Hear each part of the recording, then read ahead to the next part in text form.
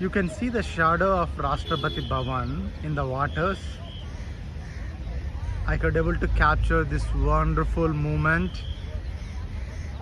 I inspired from several photographers these shadow photos but able to capture the first time in my life uh, that too Rashtrapati Bhavan. Feel so happy.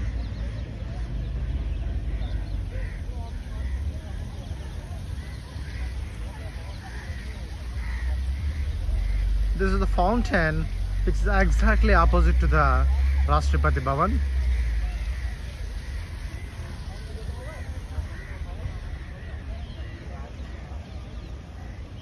Amazing to see all this at one place.